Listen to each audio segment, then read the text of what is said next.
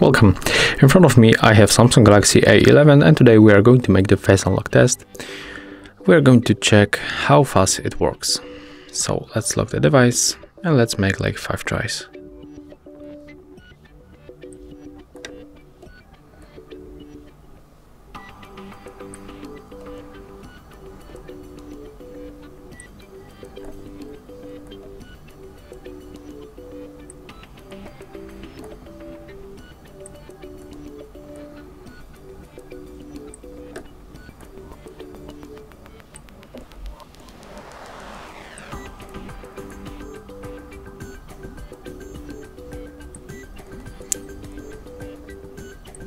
So as you can see it works every time, but it's not really fast.